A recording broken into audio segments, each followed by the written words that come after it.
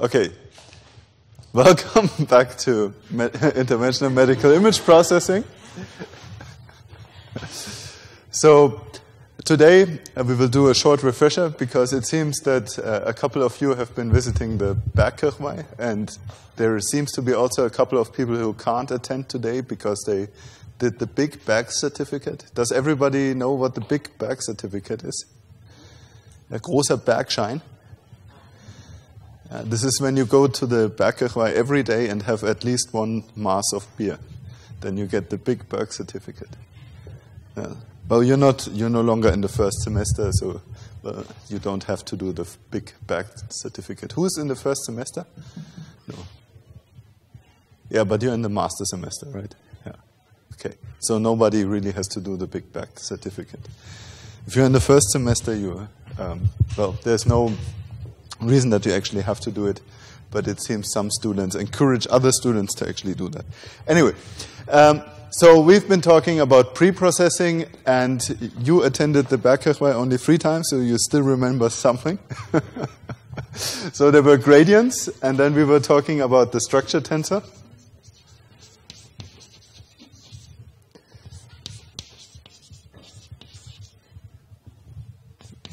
Okay, what else did we talk about? Immediately should come into your mind when you talk about the structure tensor, what was very similar? The Vesselness filter, exactly.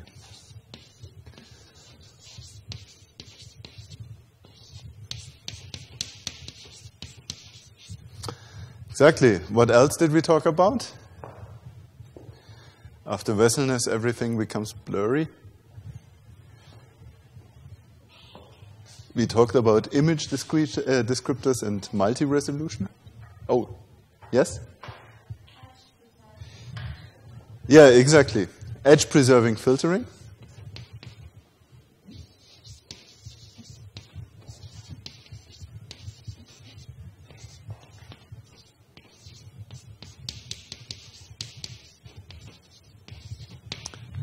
Which methods come into your mind when, I, when we look into edge preserving filtering? Excuse me? Bilateral filter and and guided filter. These were the two methods we've been talking about. And then we were talking about feature descriptors, right? SIFT and SURF. I think we mainly talked about SIFT. So let's put SIFT here. And then we were talking about something super resolution, exactly, super resolution.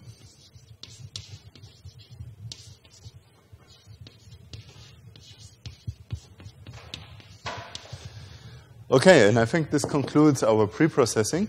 And then we went to the next chapter. And we will call this probably image analysis.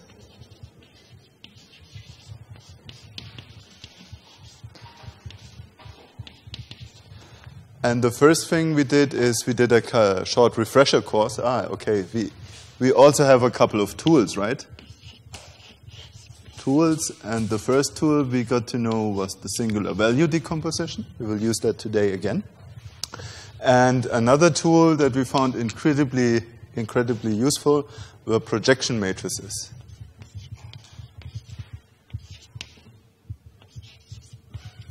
So projection matrices are really useful because we can use um, a matrix to define, to describe uh, a perspective projection uh, in a homogeneous space, which was really useful.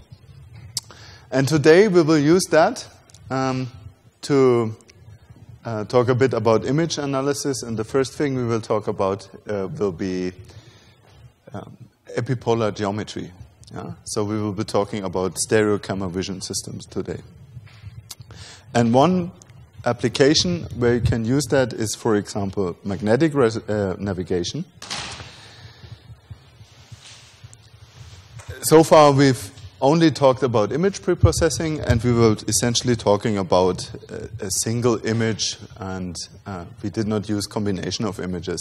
Super resolution was a slight exception because there we were using multiple images to compute one big image, uh, one highly resolved image. But now I can use a couple of images and try to reconstruct a 3D structure. So from two views, I can reconstruct the 3D point if I have a calibrated projection matrix. And in the following, we will start processing multiple images, yeah? at least for the course here. So one idea that is uh, where you really need 3D information is magnetic uh, navigation. So let's say you have a system like this. Can everybody see that well? Should I turn off the front? So this is already off. Can everybody see that device?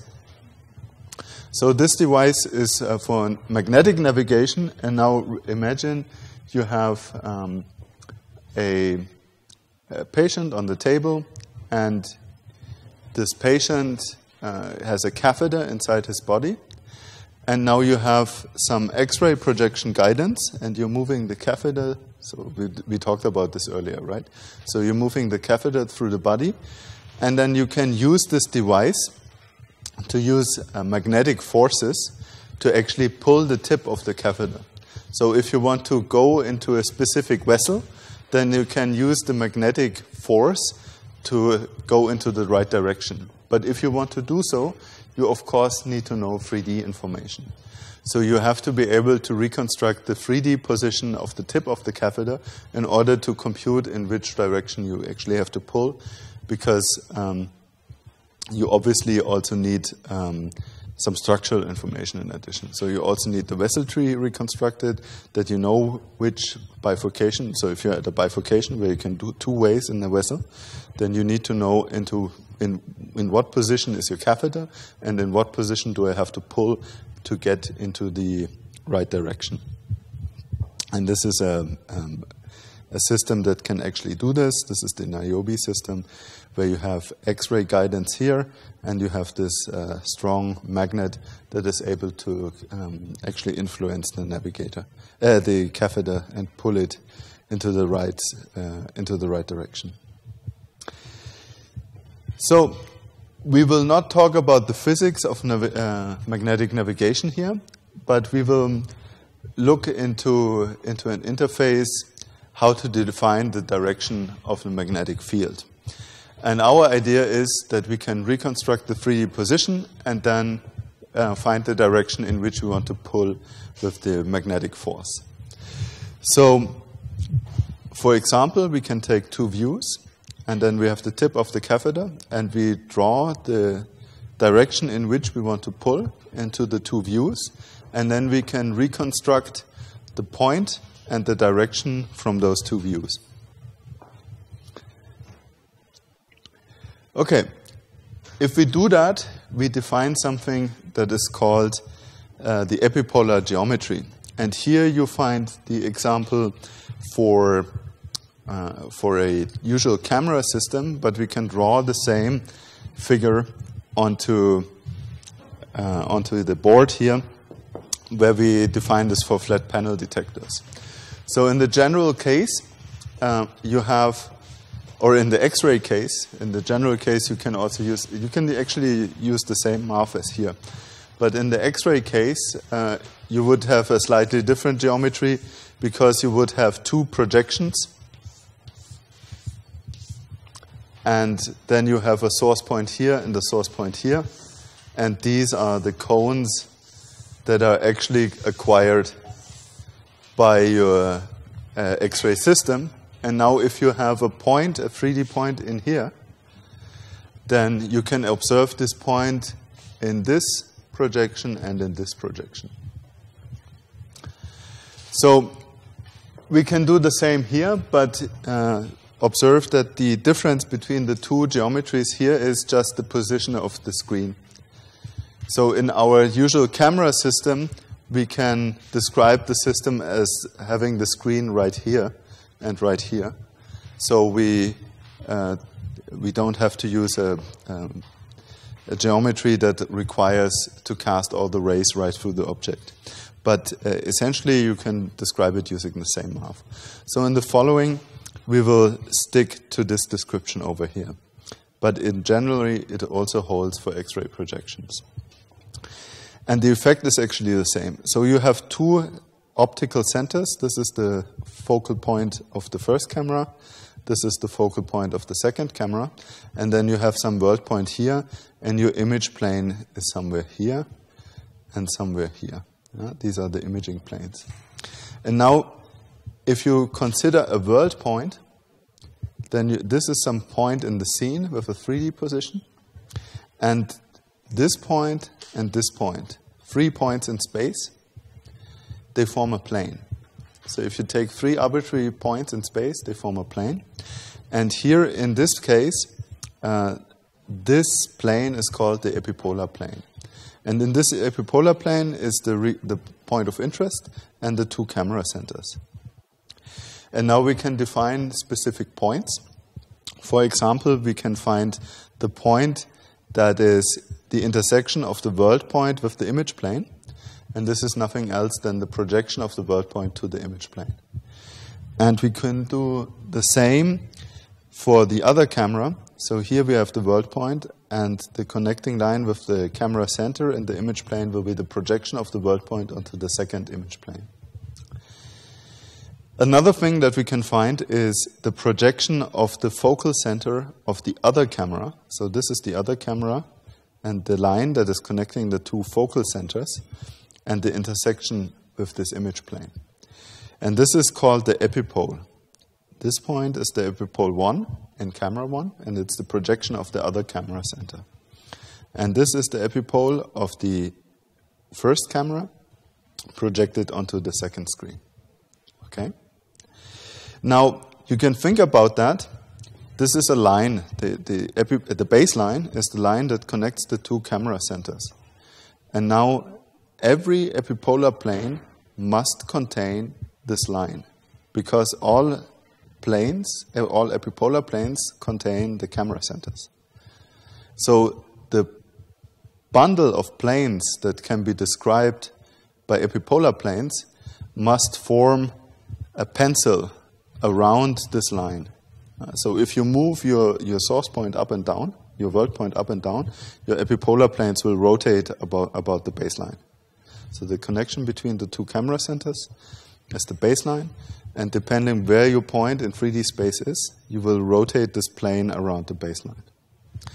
And now we can also do something interesting. We can intersect our 3D plane with the two image planes. And if we do that, we get a line. The intersection, of course, between two planes is a line. And we call this the epipolar line.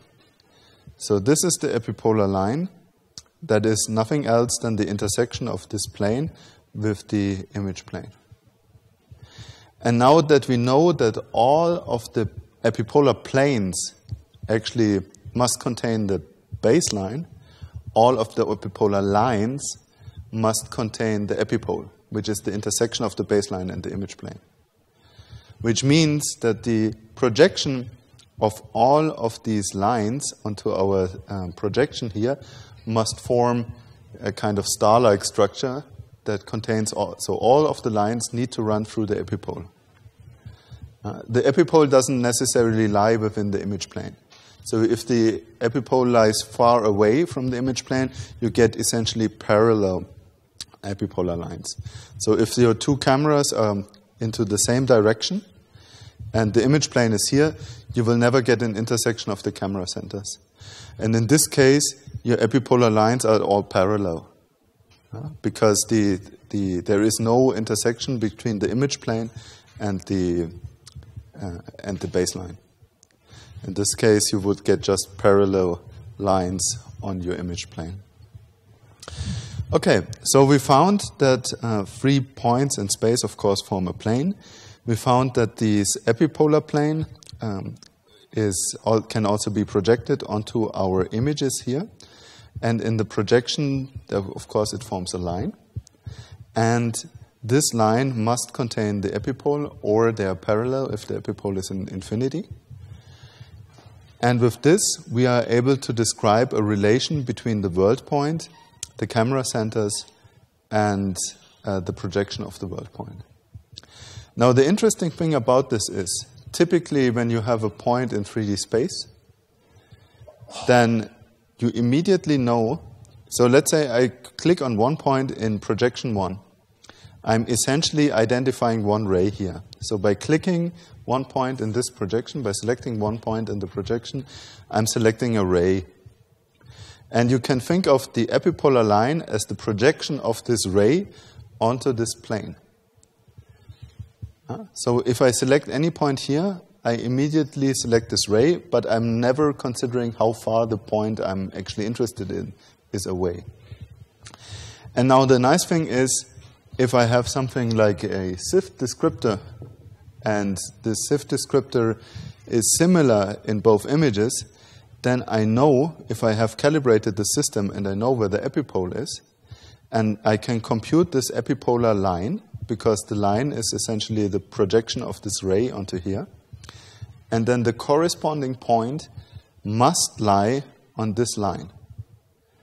There is no way it could be on a different position other than the line because all of the three points need to lie in the same plane.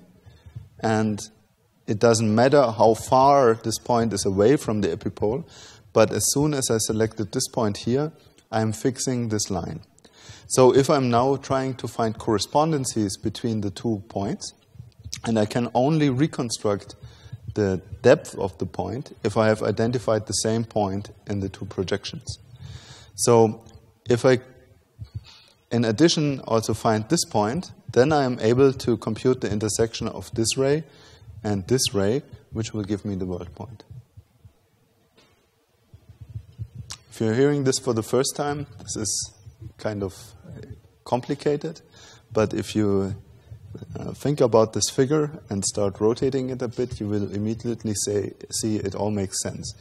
And what we will do in the following is all of the nice properties that we've uh, just described.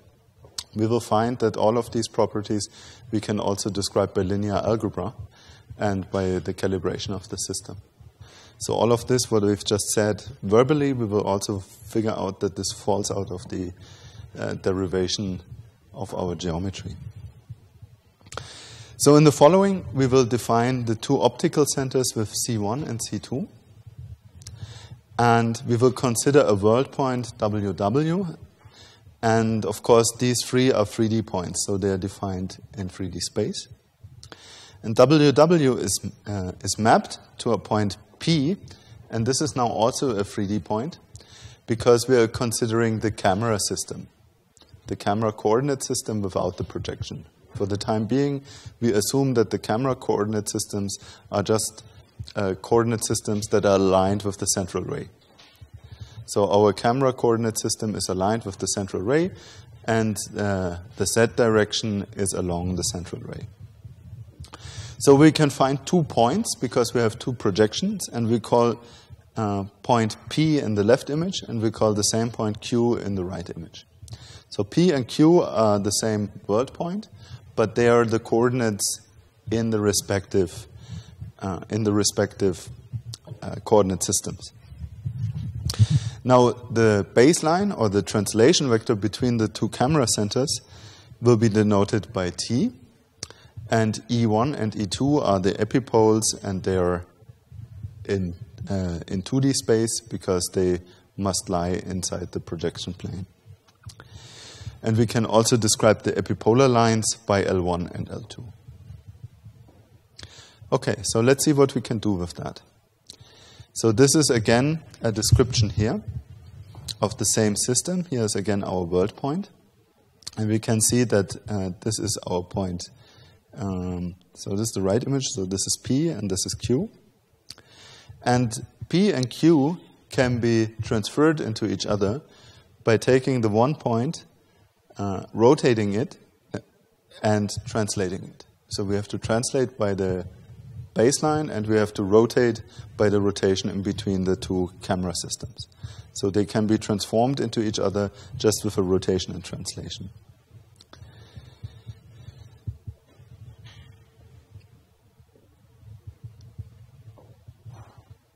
So also we need to define f, which is the, the focal length but we will only uh, use f as soon as we really consider the perspective projection. And we can also find qc uh, so QC and uh, PC and QC are the camera coordinates. Uh, so this is uh, the, uh, sorry, did I, oh, okay. P and Q are the intersection points in 3D. So this is not yet involving uh, the camera coordinate system, sorry. PC and QC denote the camera coordinates of the intersection point. So only PC and QC really uh, contain the point that is uh, described in camera coordinates. Now we can also find the uh, respective points on the projected screen, QP and Q, PP uh, and QP, and these are really the 2D points. And they are described in a coordinate system in which the upper left corner of the image is the origin. And now you can also describe the observed 2D points in the image plane where the origin of the coordinate system lies in the central ring. So we have multiple coordinate systems. So we can find one coordinate system that is essentially aligned with the camera coordinate system, which is pi and qi, and it's just the projection. And then we still need the mapping to the pixel grid where the upper left corner is the origin. So we have several coordinate systems involved here. Now I can start with our camera points. So my we will now stay essentially in relative coordinates. We will not use the world coordinate systems because then I don't have to think about the origin of our world coordinate system. So I can find a rotation between my two camera positions that will map the same point uh, into the respective other point. And this point is the same point in world coordinate system. So you, what you need to do is you need to shift it and then you need to rotate it. So we can find the relation that we can uh, put the two things together just by a rotation and translation. Now the nice thing with the rotation is if I uh, take the transpose and multiply from the left-hand side, I can find this relation, so the rotation will cancel out on this side, and I'll find the uh, rotation transposed on the left-hand side. Then we can find another observation. The vectors PC, so PC is on the one side, QC is on the other side, and T is the baseline connecting the two points. Those three lie in the same plane. They are all in the epipolar plane. The baseline is in the epipolar plane, and the two vectors connecting the camera centers with the world point are, of course, also in the same plane. So what I can do is I can take um, the cross product of t and pc. This will form a vector that is perpendicular. So this will be an out-of-plane vector. If I take the cross product, it will be a normal of this plane. Now, if I have computed this normal here, and I compute uh, the scalar product with this vector, then you can immediately see uh, that they need to cancel out. This vector and this vector, because this vector is perpendicular, this lies in the same plane, then the scalar product between the two needs to be zero. And this is this is relation number one, this is relation number two. And now I can take this equation here. So I see that this part and this part is identical. So I can replace this with this part here. So I get R transpose times QC transpose times T um, cross product PC equals to zero, right? This, this needs to be equal to zero. Then I can resolve the transpose. The transpose will, of course, force QC to be transposed, and the rotation 2 times transposed will be the original matrix. So I can get QC transposed times R times T cross product PC equals to 0. And now I can rewrite the cross product here. This is also a linear operator, eh, and I can find a 3 by 3 matrix to actually describe this operator. This is the so-called skew matrix. So I can also describe this as a matrix, which means that I get a matrix here in between, and I can call this matrix E. So this is just the rotation times the skew matrix of the baseline. And now I take the point uh, described in the, in the left camera times the point in the right camera, and it needs to be zero. So if I do that, this relation describes nothing else that those two points, they are in the same plane. But the nice thing now is this rotation and translation vector they are fixed with the camera system. So as long as I'm not changing the relation between camera 1 and camera 2, if I fix them to some kind of array, yeah, so, so, to some mount, so I mount them on on some some kind of uh, stable system, and they never change the position with respect to each other, then these are fixed parameters of the system. So if I find two points that describe the same world point, this relation will be zero. Of course, there is multiple points. Um, if I fix PC and um, uh, and I try to find the respective QC, I will learn that this matrix is actually only rank two. So there is a multitude of points for which this relation will be true, for which this relation will be fulfilled. And in fact, this is exactly the epipolar line. So if I select one point in the left-hand side, this is exactly what we just described by geometry. This is eh, describing the same thing just by linear algebra. And if I have this matrix E, I can select an arbitrary world point PC, and I can find the corresponding line of points that will form this epipolar line. Good. So another thing uh, that we need to uh, define properly is this skew matrix, and you can find this um, by this matrix here. So it only contains T1, uh, T1, T2, T3, which are the components of our baseline vector. And then we can write up the skew matrix. So this is how you would find that. So if, I, if you know the rotation and the translation, you can immediately compute the essential matrix E. Now you can also think about that you uh, can go to a homogeneous uh, representation of QC. So you can represent it in homogeneous coordinates. And if you do that, you need your perspective projection matrix. So everybody remembers the perspective projection matrix. And if I have a homogeneous representation of this point, I just need to multiply with our uh, perspective projection matrix, and I will get the homogeneous version of our image point in the plane. Good.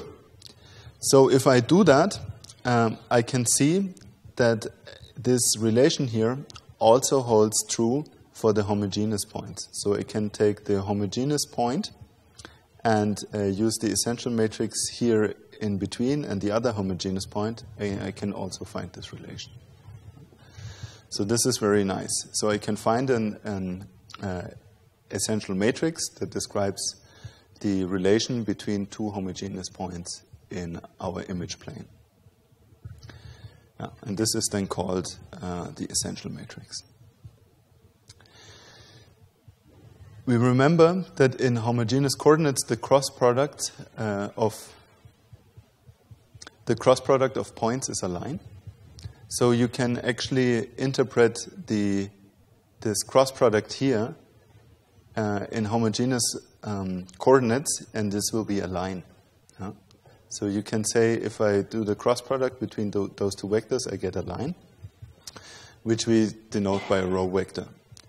And then we can see if we have a point in the one space, in the one image, one homogeneous point, we can see that if we multiply this point with the essential matrix, we immediately get the homogeneous representation of the line in the other image.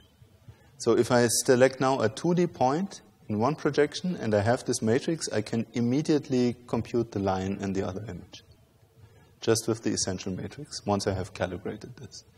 And this is now super useful if you're looking for correspondences, and this is what they use in um, virtually all of those um, uh, texture-based calibration algorithms. So if you have a stereo system and you have some objects with, uh, which is not homogeneous, so you can't use this if you're imaging a white wall. Yeah? If you look, look with a stereo system onto a white wall, you won't be able to find any correspondences because you find no matching points. But as soon as you have some kind of texture, or if you start projecting a kind of interesting texture into the scene, then you can find um, corresponding points using those epipolar lines. Uh, and then, of course, you can use the, an idea how far points can actually be apart in the scene. So if you limit the, uh, the size of your scene, then you can also make predictions how far the point can be away along this epipolar line. Another very interesting point is, so we can immediately get this uh, line in the other projection image. And another very interesting point is if you take uh, the essential matrix, transpose the essential matrix, you could rewrite this as R uh, T skew, transpose R T skew.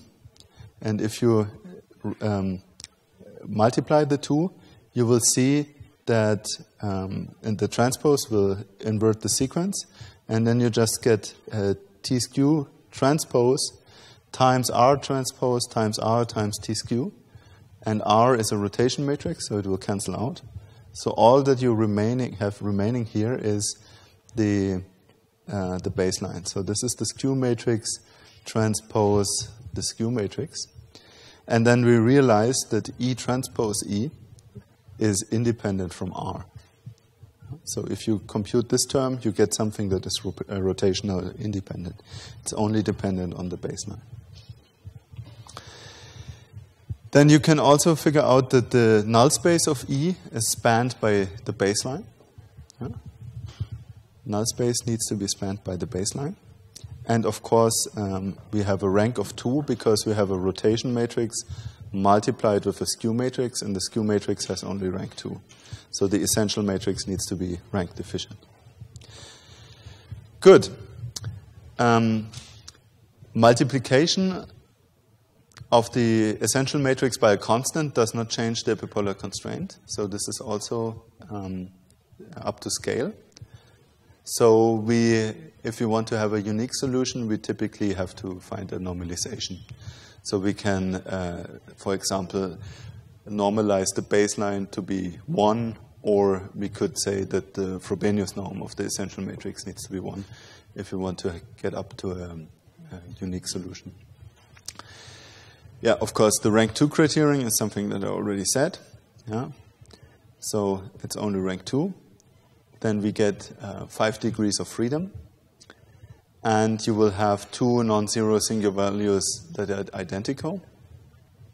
And of course, uh, if you take a point that is on this line, it will be zero, and of course, uh, this will hold for the other side, side as well. So if you take a point in the right-hand image, you get the line on the other side, and vice versa. And if you find a point that is on that line, the epipolar constraint needs to hold. So if you select a point in the other image, uh, it needs to be zero. Okay, so these are very useful properties. So how can we estimate this? Well, we can just go ahead and say uh, this is all a system of linear equations. And now we just say, well, we, we know this trick that we can uh, rearrange everything into a linear system. So we can rewrite this matrix equation, of course, into this matrix. Uh, so this is just element-wise uh, the same matrix. And now we can find that this is linear in the elements of the matrix. And then we can rearrange this system of equations such that um, we get a vector of the unknowns. So we rearrange this equation into a linear form. And if we just write out the previous equation, you see that it's just um, a weighted sum of components of p, k, and qk, and then you have your entries of the essential matrix. So for every point where you know that the epipolar constraint is fulfilled, uh, you will find, find one of those for every pair of points where you know that the epipolar constraint is fulfilled. You will find um, one such equation. Now, if we have many of those points, we can set up this into a system of linear equations. So I have one equation per line. And I can actually factor out the components of E and rewrite this into a long vector. And then um, all the PK and QK, these are observations that I typically get from a calibration pattern. So you remember the normal camera calibration that we talked about in the last lecture, we can do the same thing here. So I take a stereo vision system and I take a calibration pattern and I click the same points on both, uh, or automatically even detect um, this, for example, a checkerboard pattern. Then I get corresponding points, and from the corresponding points, I can compute the essential matrix. Now you will see that this measurement matrix now looks like this and this is our vector. So this is one pair of points that fulfills the epipolar constraint, and for every pair of points, I get one line in this matrix M. So this is our measurement matrix, and then I just multiply with a vectorized version of our matrix, where I have the elements of the matrix just in a long vector. And this needs to be zero. So what I need to compute is the null space of M the essential, the elements of the essential matrix will be formed by the null space of M. So what can I do? Well, I can find my set of point correspondences, and we call this uh, the Siemens algorithm, because we don't use any of the knowledge we have observed so far. So we just take the previous equation and we just solve it. So what you do is you read your correspondences, you write them uh, such that you get your measurement matrix, then you compute your singular value decomposition, and you return the last column of V, and that will be your essential matrix. Uh. If we do it this way, we don't use any of the observation that we have uh, observed so far. All the properties of E and so on. All we're using is the null space, is that the null space needs to null space of M needs to form E. So this is a very simple algorithm. But in fact, we can use all of the interesting properties that we have discovered so far and make this algorithm better. So this is what is called the eight-point algorithm in literature. And it follows, in principle, the same idea. We're still solving the same system of equations. So the first few steps are identical. We read our correspondences, we set up our measurement matrix, and then we compute the SVD. And the first thing that we realize so, um, for example, if our M has full rank, so if the last singular value, we know it needs to be uh, rank deficient because we're looking for the null space. If it's not rank deficient, so if we have more than nine singular values that are greater than, or if we have nine singular values that are greater than a threshold epsilon, we know something is wrong. It can't be. So if you find something like this, and you still compute your essential matrix, you are very certain to have done something wrong. So probably one of our correspondences does not match. Yeah? If you have a, it, um, if the correspondences don't match, if they're not within one plane, then you will get a full rank matrix here. So if you don't get a rank deficient matrix, then you can just stop because you have identified a set of points that do not fulfill the epipolar constraint. So you should do a warning or you can do a new iteration uh, of your RANSAC because you already found a set of points that does not fulfill the epipolar constraint. If you only have eight singular values, then you really have a null space, and then you really can find uh, the last uh, column of V, which will give you the null space. So now you can read these components and rearrange them into a matrix. Yeah? We, those nine components are supposed to be a matrix. And the next thing that we can do is we can compute again the singular value of E, uh, the singular value decomposition of E, and we know that this matrix needs to have a rank deficiency. And if it if it has full rank, if this matrix has three singular values that are higher than a threshold epsilon, um, then you can stop again because this is not a valid uh, essential matrix. So you have something in your data that is not correct, and this uh, messes up your measurement. So you need to find out which points actually violate your um, your epipolar constraint. And only um, if you have a rank deficient matrix, then we can use the next criterion that we observed. We have observed that the two singular values should be similar yeah, because this stems from the rotation matrix. So we take the difference between the first two singular values, and if the difference is too high, then this is not a rotation. Uh, you have a, you do something that has a skew inside. So you can also say this is not a valid um, this is not a valid essential matrix, and then you can also stop.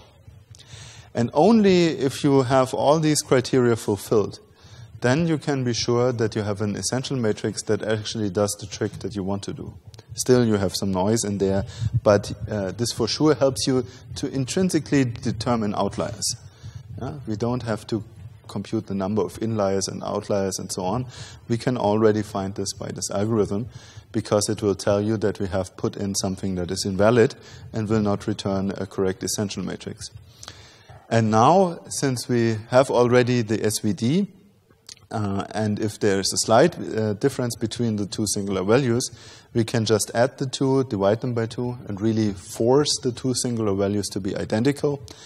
And uh, then we can recombine and, of course, force the last singular value to be zero.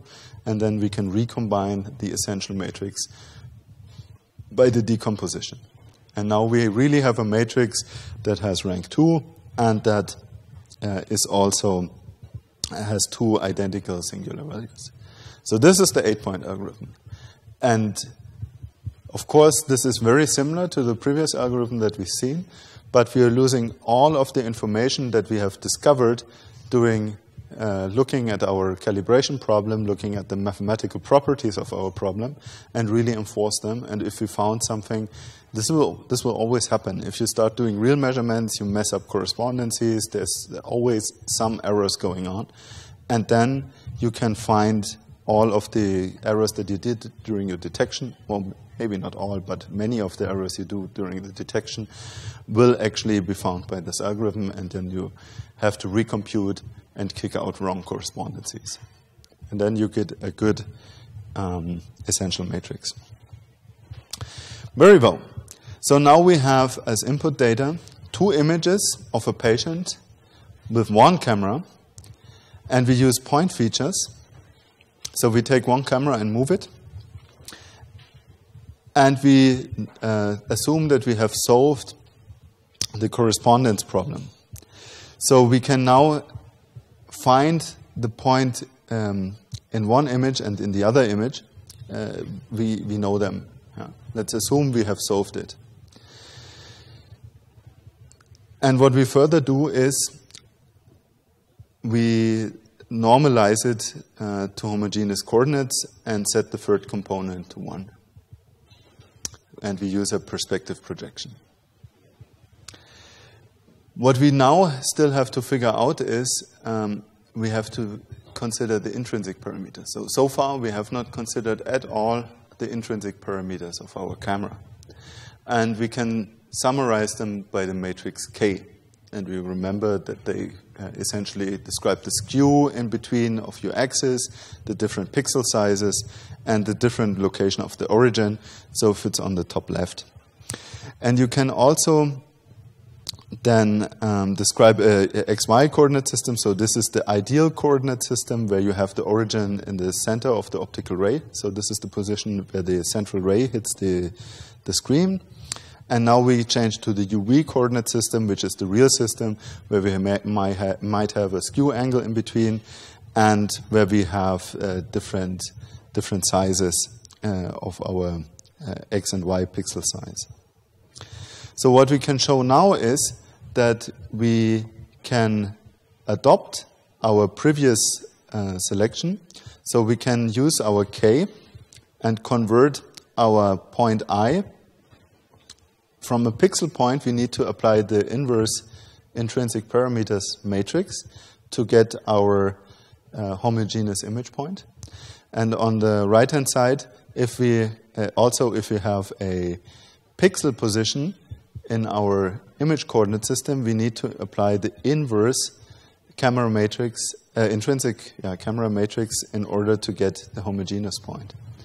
And if we do that and plug that into our original formulation of the essential matrix, what will happen is uh, that, of course, here the sequence changes because of the transpose.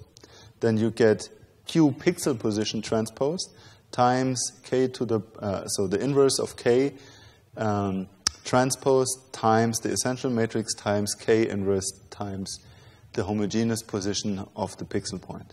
Okay? And now we can let's assume we have the same camera, yeah, because we were only rotating and translating the camera, then it needs to have the same uh, intrinsic parameters. So we only have one camera matrix K here, and then we can write up this as the so-called fundamental matrix.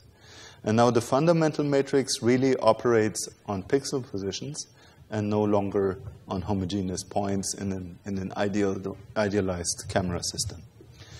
So what we actually uh, want to compute is the fundamental matrix if you are operating on, pixel positions. And also F has rank 2. And it encodes the intrinsic and extrinsic parameters and maps uh, points again onto lines. So if you have F, you can use a pixel position in the one camera and compute the respective uh, epipolar line on the other camera. So this operates directly on pixel positions, and of course also the epipolar uh, constraint holds. So if you have a, um, a point on the respective other line, then um, uh, this equation uh, needs to be zero. So where do we have that? Ah. Anyway, good. Yeah, this is the Uh, epipolar constraint for the fundamental matrix. So here we have the pixel position times the fundamental matrix times the other pixel position. And here we can use something, we can also use the eight point algorithm. Now we directly put in pixel positions. We also need to find the null space here. And we will find that the rank of M is eight. So if we, we need eight equations actually to describe this matrix here. And this is, so we need eight correspondences of pixels to find the eight equations to form M. And then uh, this is the reason, of course, why this is called the eight-point algorithm. We can solve it with singular value decomposition, and of course, we also need to make sure that the rank of two, uh, uh, the rank of f equals to two. Typically, you have as a starting point um, a system overdetermined system of equations, so you typically have more than eight points. And uh, f then lies in the null space of M, and you find, um, yeah, find it as the null space of M because rank is 8. Good. So we can do something very similar. So you may have to make sure that the last uh, singular value needs to be close to 0. If it's larger, then you can go to, to the error case. Then you can enforce the same, essentially, as in the previous version of the eight-point algorithm. You can enforce the rank and um, uh, see that your fundament fundamental matrix um, has a last singular value uh, equal to zero. Now, because we are operating technically, on camera coordinates, we can no longer use the strict that a singular value 1 and 2 needs to be equal. Yeah? So we have a singular value 1, a singular value 2, and we cannot uh, enforce that they need to be the same because our pixel directions could be scaled differently. So this would then give you, in the end, the final, um, the final version of your rank deficient fundamental matrix. Okay, now um, we have the problem that our image coordinates typically are defined with the top left of the corner, and coordinates uh, may vary from zero to a few hundred. And um, the third homogeneous coordinate is usually set to one. So this can cause a bit of instability. So what you often do is uh, you translate the origin of the image coordinate system to the centroid of your feature points, and you can use the tricks described here uh, to balancing the data, and then you get less numerical instability. But let's not go into too much detail in here. Okay, so um, if you now want to compute the, the rotation and translation, uh, you can see that, uh, let's assume if you know the intrinsic uh, parameters, then you can immediately get the essential matrix, and then the essential matrix depends on the extrinsic parameters only. So if you have a calibrated camera where you know the intrinsic parameters, then you can also compute E. And here you would see how to compute actually E. Okay, good. And this, of course, you can also write this up with quaternions. I'm skipping over this because what you've seen so far is actually sufficient to implement um, a fundamental matrix. So you can uh, consider 3D scenes. With the fundamental matrix, we can actually compute 3D, uh, we can compute correspondences between one point and the other point, and we can use that to find matching points and dramatically reduce the search problem. So if you just have one point on, on, on one image, uh, then technically all of the other points in the other image could be corresponding. But if you have a calibrated fundamental matrix, you can narrow down the search, uh, search, space, search space just to a line. So this helps you to speed up the matching process for uh, finding 3D points and so on. Um, the epipolar constraint is linear in the components of E and F, and this uh, enables us a fast algorithm to find a fast algorithm that will give us immediately the solution from a set of calibration points. Yeah, and we discussed the numerically robust estimation of the essential matrix by property enforcement. And here, if you want to know more about that, um, there's also a very nice um, uh, book here, Introduction, Introductory Techniques for 3D Computer Vision. Then, of course, uh, Hartley's book is, is very good, and uh, some background on magnetic navigation. Do you have any questions so far? Yes?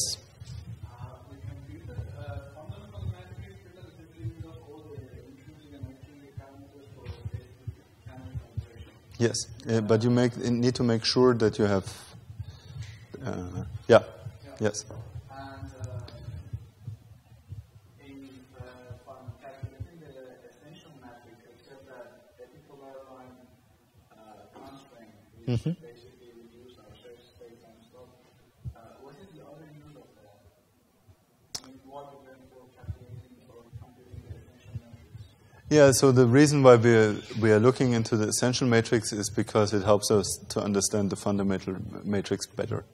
So typically you calibrate right away the fundamental matrix and then use it for the correspondence problem.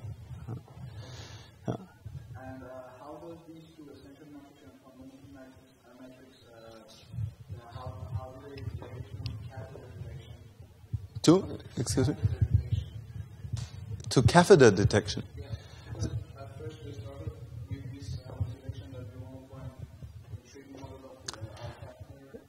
Yeah, so now that you have, so let's assume you have one point, then you know that the other point needs to be on a line, right? So I pick the tip of the catheter, then I only have this line to search for the other projection, and I'm also looking for the tip of the catheter, and I can hopefully do that automatically, match them with a kind of feature descriptor, and then I have two points. And if I have calibrated projection matrices, then I can use those two points to compute the intersection of the two projection rays. And the intersection of the two projection rays will give us the 3D point. But if I really want to compute a 3D point, um, uh, yeah, I, I can go down this way. Yeah, exactly. More questions? Yes?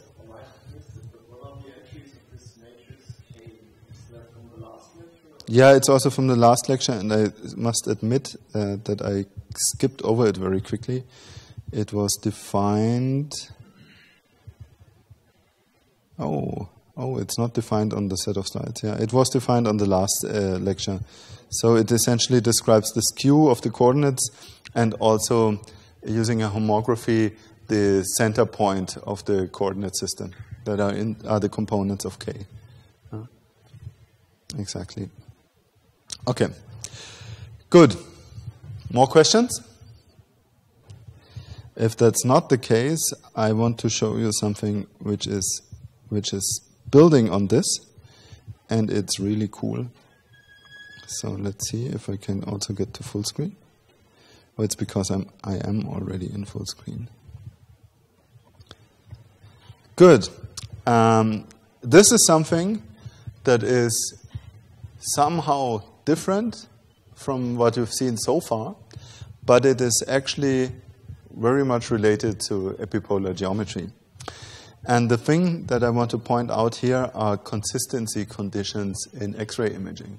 So, so far, what you've seen is uh, that we can use the same uh, kind of math to describe the X-ray projection system.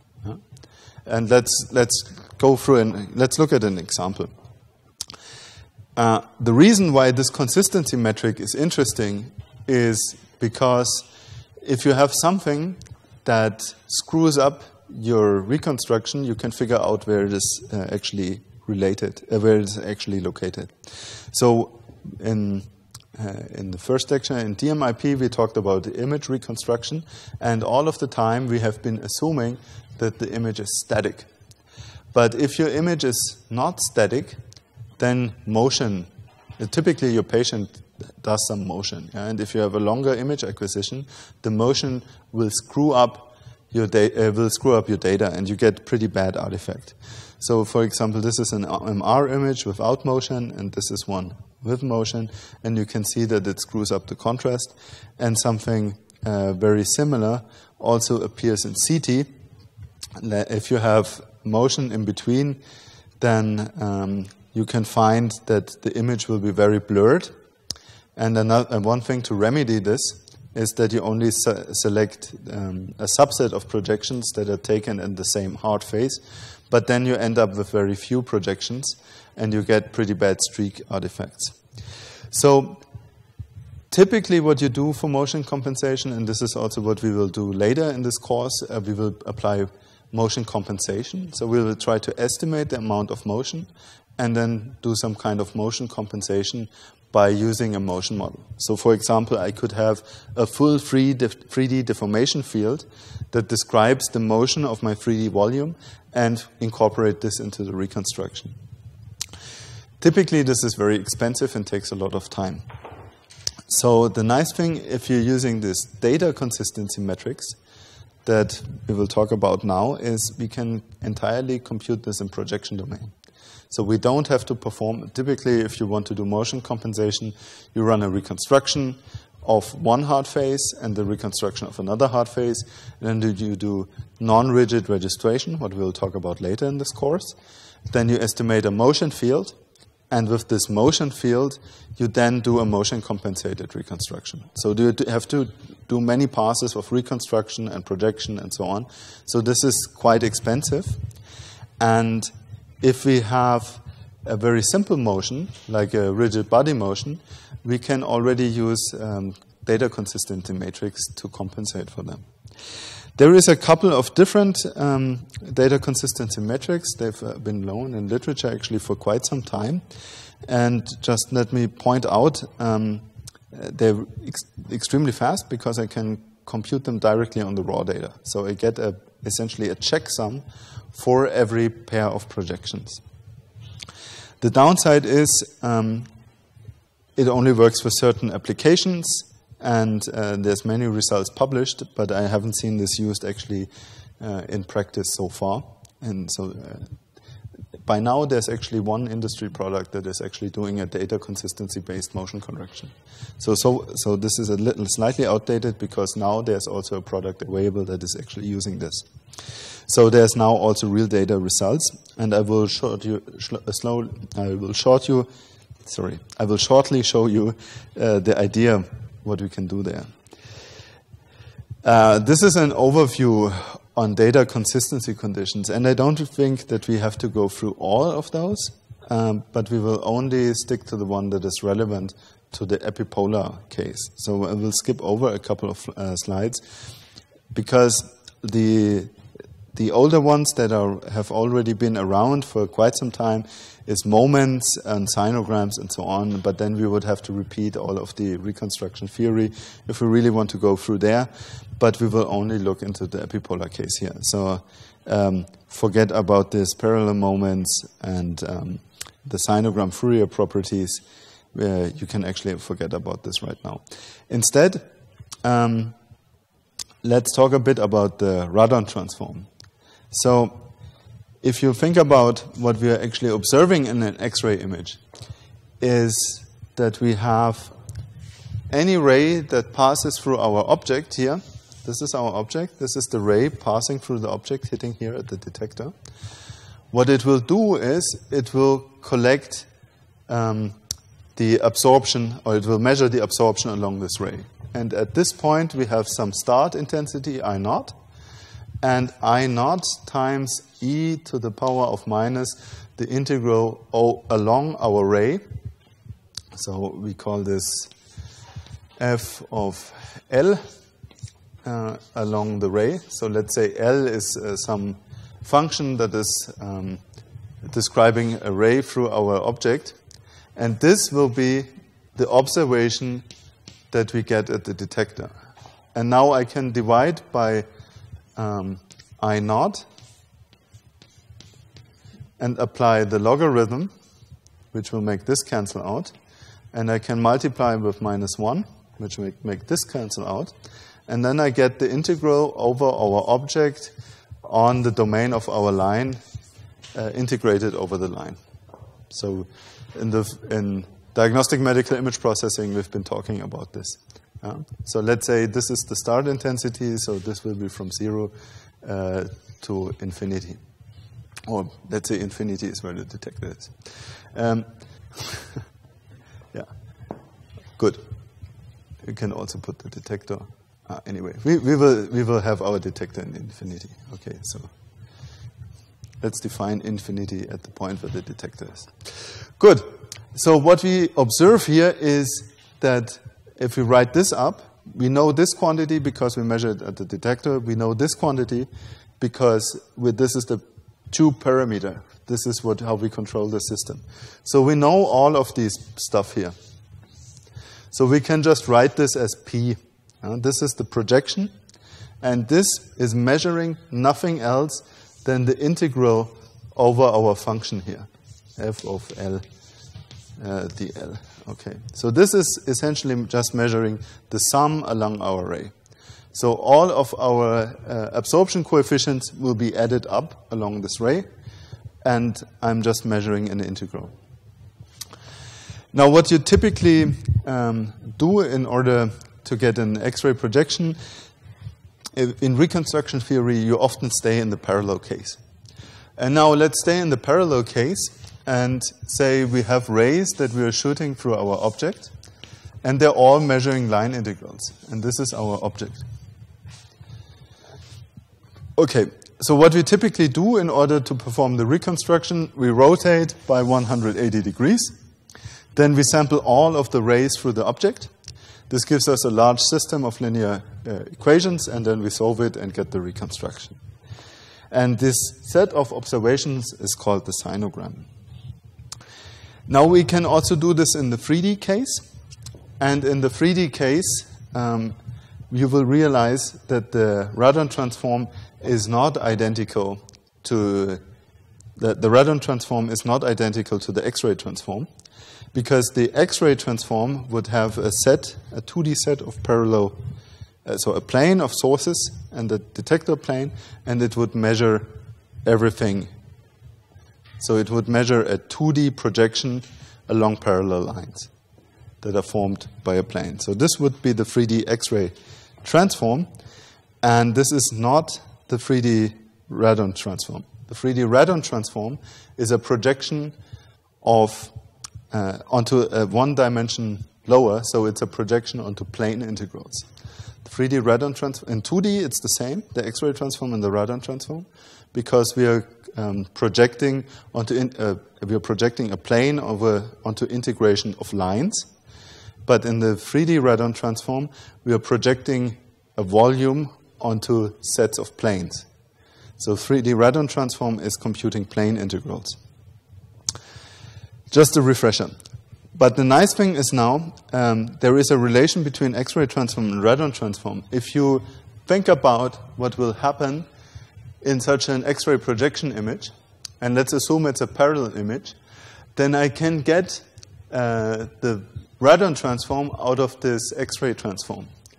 Because I can just sample all of the lines that, I, uh, that intersect with my object, and I sample all of the lines that intersect with my object, and then I compute the integral over the line. Because if I do that, let's stay here in the 2D case, what I'm doing essentially is integrating into this direction. So my x-rays have measured already the integral in this direction, and now I'm integrating over this direction again. So what happens? If I first sum up all of the elements in this direction, this will give me a vector, and then I sum up all the elements of the vector. Yeah, so the direction will be eliminated, and I'm computing the integral of the entire slice. First, I compute all the integrals in this direction, I get a vector, and I integrate up again, and then I get the integral of the entire slice. And of course, it doesn't matter if I do it this way, and then integrate in this direction or the other way around. I'm always getting the same number here. Because, yeah?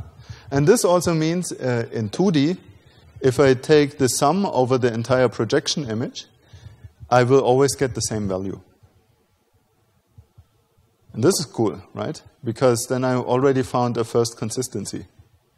So this way I have a consistency metric. The sum of the object must not change um, over entire 3D scan. If it changed, something has been different. So there is some inconsistency. And typically these inconsistencies also uh, do artifacts. Okay, so if we do this in a 2D parallel projection, if we start integrating over those lines, we are actually sampling the 3D radon transform, which is also interesting. Um, but and you will see how those plane integrals become more handy in a perspective projection. So now we have the epipolar geometry, and of course it's the same here. So we don't know where the point x is. And if we had a second projection, then we know that this line connecting C0 and X0 needs to be or will be projected onto L1 here. And of course, this is also the same relation otherwise. So if we have a point x1 and uh, we project it and we connect it with C1, the connection of this thing here will form a line in here. In fact, all of our three points form a plane. This is our plane, and now this is what I tried to, to describe earlier. If we move this point up and down, you see this? I'm moving the point, and this actually causes a tilt of my epipolar plane. But it's the same plane, okay? Now this is useful. Now I found lines that are corresponding, and they correspond to the same plane. Now if I think about that, um, I can actually find redundancies. And now the idea is, if I have the same epipolar plane, then I can go ahead and compute a line integral. So all of these points, all the pixels in the projection are already line integrals. Let's assume they are parallel. Let's assume our source is very far away. Then they're all parallel. Then we can show that if we integrate along this line, must be the same integral if, as if we integrate along this line. That's cool, isn't it? So any epipolar line, and remember we can find many epipolar lines because we have this entire pencil of planes that will give us epipolar lines. Every epipolar line will be associated with a value that is identical to the integral over the plane intersecting the object, the epipolar plane intersecting the object at this point. Oh, that's cool. We, we just intrinsically found out that our, that our X-ray measurement, any two pair of X-ray projections, has a checksum. And this checksum, checksum is our epipolar consistency because the planes need to add up. That's really useful. Now, if I have a rigid, rigid, body motion, for example, I can find the movement parameters such that I return to the original optimal, um, to the optimal consistency. So I can start figuring out a motion in 3D that will uh, return or will optimize the consistency in the projection uh, for rigid body motions. Remember, important for this is the entire object must fit the detector. If you have objects that exceed the detector, all of this doesn't add up anymore. Because we need to observe the entire object, otherwise, if we have truncation, if the object doesn't fit the detector, all of the line integrals don't make, make sense anymore. Because truncation is intrinsically inconsistent. There's another thing that I have not told you so far. Um, and this is not true for fan and cone beam geometry because our, our source is not very far away, and we actually have a fan. And now, if you think about that, uh, if you have a figure like this, and an object like this, um, then you will realize that every point, so the, the distance here and the distance here is further away so you get an inconsistent weighting because of the fan beam geometry. Uh, here, you, if, you set, if you integrate along here, those points in, at this part of the ray and the points at this part of the ray, they're not at the same distance. And this means that we introduce a weighting because we don't have equal size. So the fan beam destroys everything. So there's no consistency if you're using a fan beam geometry for plane integrals because we introduce a weighting. Too bad. Now we have all this wonderful consistency and we just figured out uh, that it doesn't work because we have a weighting. But luckily there's a trick and this trick is called Grangeat's uh, theorem and Grangeat. Uh, he is actually showing that if you uh, transform from fan beam, uh, from parabeam to fan beam, you get this weighting here. So this is weighted with the determinant of the Jacobian. This is the weight that I just tried to introduce here. This is introduced by the change of coordinates because you're changing the direction of the rays. So you get a weighted integral. But now you can introduce the normal direction. So this is our, if this is the plane, our epipolar plane, we're doing the normal direction. So this is out of the out of the board. Now we introduce the normal direction as n, and we're computing the derivative with respect to the normal direction of the plane. And if we do that, uh, you can actually show that the derivative with respect to the normal direction is approximately the same as the derivative with respect to the direction projected onto the detector. So if you project the normal onto the detector and then compute the derivative in normal direction of the epipolar line, then you can actually um, see that those two are similar. And this is nice. And the other thing that is very nice is if you, if you start computing this derivative, you're taking out the weighting. So actually, the, the weight in, in between two neighboring epipolar planes. Yeah? If you think about it, the weighting here, and let's assume you have one plane that is only slightly off into normal direction, they will have a very similar weighting, almost the same. And if you do the, a small angle approximation, then you will actually find uh, that this, this weight almost cancels out, uh, up to approximation.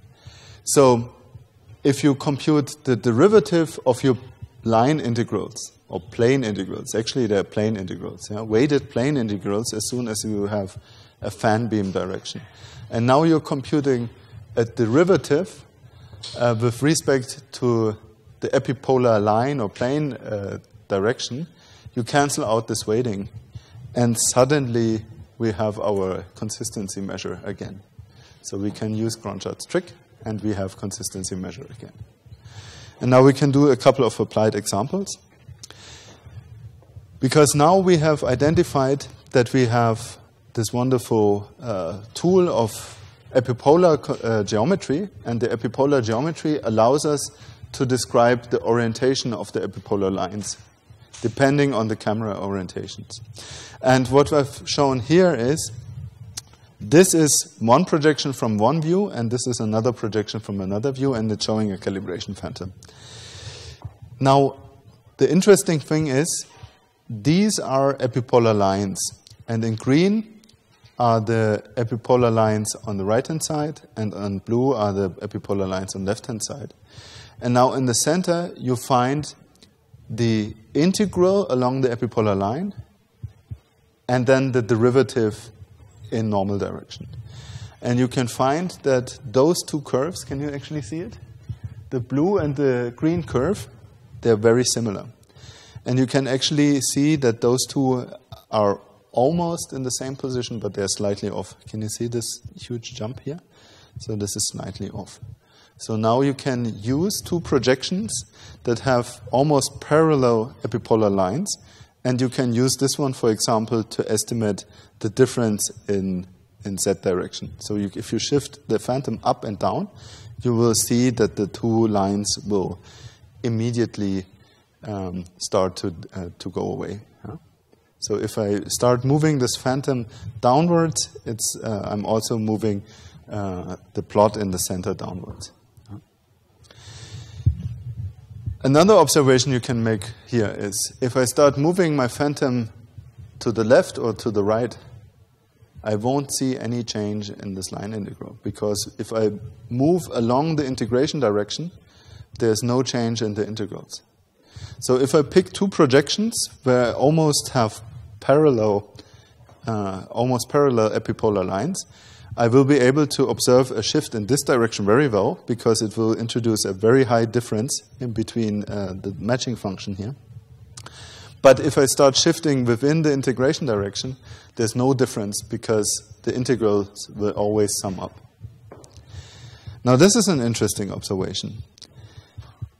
And actually, if you look at the parameter stability, is uh, if I shift now in the u direction here, uh, I can so if I so the v direction is up and down. Yeah? If I sh shift up and down, I can see that the cost function increases. So there's a big increase in cost function. But if I shift in u direction, there's no change because we're shifting along the integration direction. So for this closed pair, the function is not very good for uh, translations along u. Now, I can also use this to compose.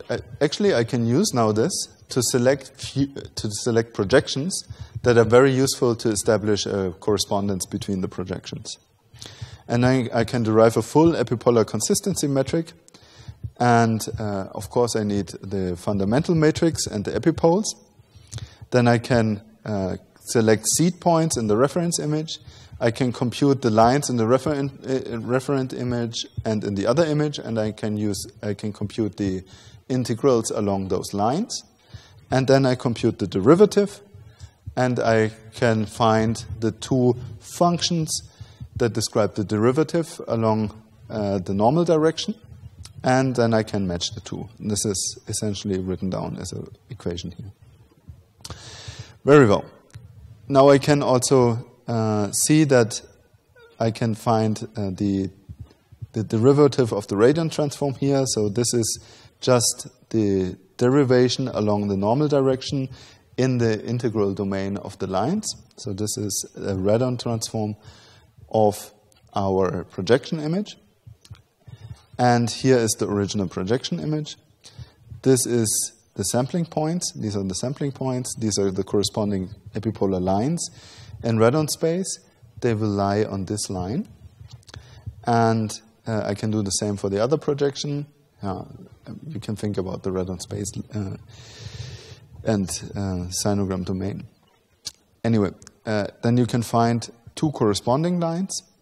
and they are highlighted by the bold lines here. So these are two are corresponding, and I can other corresponding lines, we can find them here.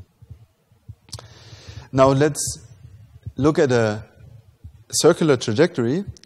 Here I can find lines, if I have a source position that is very close together, I will get epipolar lines that are almost parallel. If I select projections that are different by about 120 degrees, all of my epipolar lines must, of course, go through my, my, two, uh, my two camera centers, and the epipole will be here. So the epipole will be way out of the image plane. But they are no longer, they're no longer parallel. If they're very, very close together, the epipole will be almost at infinity. Yeah? Now I can go ahead and move them closer uh, and, and move them at an angle of 120 degrees, and you'll see that the epipolar lines change to change. And now you can get even closer and closer. And if I have two opposite views, I will even get the case that the epipole is in the center. Now, if you consider this case, um, you will immediately realize that you can now determine shifts in u and v direction because it both will be useful, both will be detected in this projection. So now I can think about that and not only think about a, circular trajectory, but arbitrary X-ray positions and think about how I have to position projections in order to be able to detect shifts and rotations optimally such that I can optimize for consistency. So let's summarize. We can use the epipolar lines and epipolar geometry to think about our consistency measure. We can use it to select projections. And we can use the epipole position to estimate um, in which directions our consistency metric will be useful or not. And then, of course, you have to think about the sampling in radon sp uh, space and uh, yeah, we've seen that the epipole uh, moves on the line. Okay. Optimization. Yeah. So ideally, you would sample random positions on a sphere around the object, but typically this is not available. But you can start sampling, for example, a, a triangular region with three projections, and then you already get a much more stable orientation uh, uh, motion estimate. Another thing that you have to keep in mind, of course, the position at the bottom right, the 180 degrees position, this is also in your scanning procedure, it's very far away. So it took a lot of time to move to this position. So this is also prone to have a lot of difference between the two. And then you have to find an optimization strategy that optimizes all of the consistency over the entire scan such that you have an optimal position of your object. And then you can actually get um, motion compensated reconstruction for rigid body motion only using projection data. And this is very, very fast. And you can almost get, do it in, without any additional, well, there's additional computations, but this is really fast and uh, does not add a lot to the computation time. So this is also very cool for interventional applications. Imagine you have a patient on the table and he has a stroke and you did not fix him and he has uh, is suffering a seizure. He will, rotate, he will move his head and with methods like this you can compensate for the motion and still reconstruct a beautiful 3D image.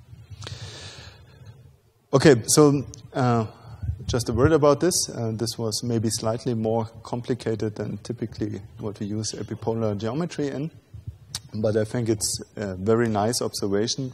The theory of plane integrals, Grangeat's trick, all of these things have been around for, for quite some time. Yeah.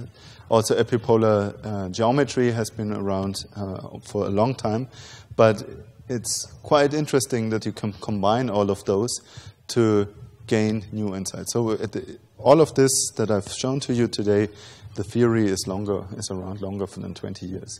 But you can nicely assemble this and uh, then come up with nice ideas for motion compensation. And this is also something which is very interesting if you're working as an engineer, if you're working in research, that you can look at the theory, nicely combine them, and bring them to your application. Good. And we are using actually computer vision methods now and uh, reconstruction methods in order to, to derive this consistency metric. And it works on any pair of X-ray images. It will work on any pair of X-ray images. So if you have an application that has two or more um, projection images, you can immediately compute this kind of consistency metric. Okay, do you have any questions? I hope this was not too confusing. There was a, there's, there's a lot of equations on the slides. Yes.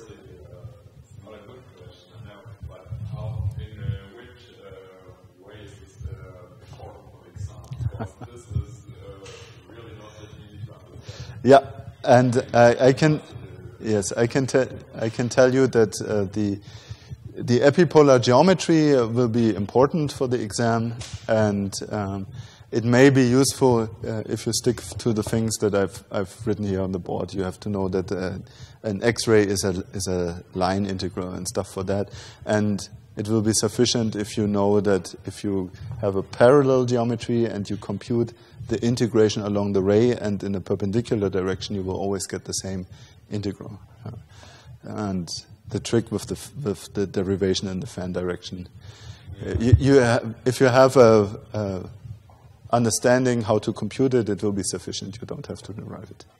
Uh, the, the, what I want to convey here is that the, the theory may be to derive everything may be fairly difficult, but if you actually want to implement this, um, it's not that hard. You compute your integrals along the epipolar lines and uh, into a direction perpendicular.